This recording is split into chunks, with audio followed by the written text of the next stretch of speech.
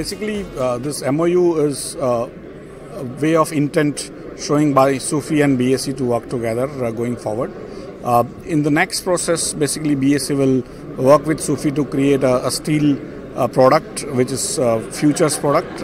in futures, you do standardized trading. You have specific days of deliveries. You have also specific quality of goods and also the lot sizes. So on that basis, BSE will work with SUFI to create a industry based or industry defined uh, contracts which we will apply to SEBI.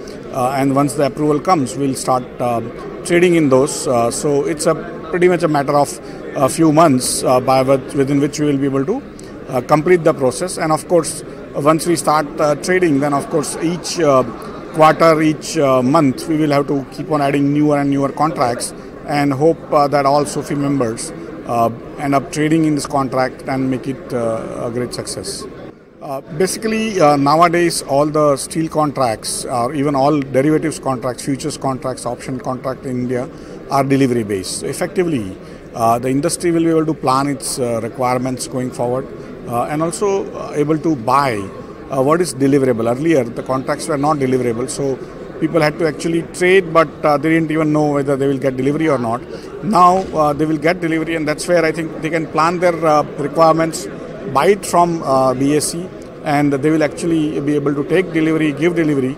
And so it's basically a marketplace. It's not only for uh, the sake of speculation, but also for hedging uh, and also day to day trading. So we will also work with the industry to organize itself.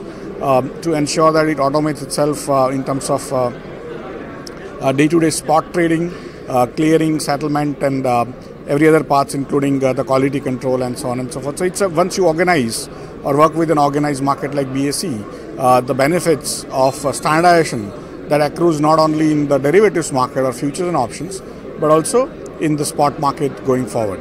Uh, in a sense, a very new concept that comes in Many people uh, may some take some time to understand. It has happened in stock markets, but uh, slowly over a period, uh, everyone has got uh, involved, uh, and they have found that uh, the futures and options actually provide a lot of benefits to the industry, and that's where I think overall, especially for the users, this allows them to plan three months in advance, six months in advance, and that is what basically, and also lock in the price. Today, you may know your demand six months from now because you may have contracts, but you do not know what would be the price of uh, the goods, the raw material uh, that is steel uh, going six months. While as on BSE, you will be able to lock in that price, but not pay now.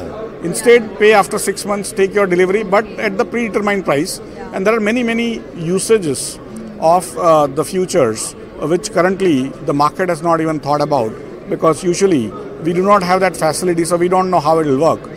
But uh, in many, many other contracts, like in cotton, in guar seed, guar gums, in gold, in silver, uh, also in commodities, in various other commodities, uh, BSE has launched these contracts and they are working very well. So I have no doubt that this will allow people to plan for the future. Uh, and that is a, a, big, big plus, especially when you have contracts in hand and you do not know uh, what to quote. Whereas looking at these numbers, you would be able to quote uh, going forward.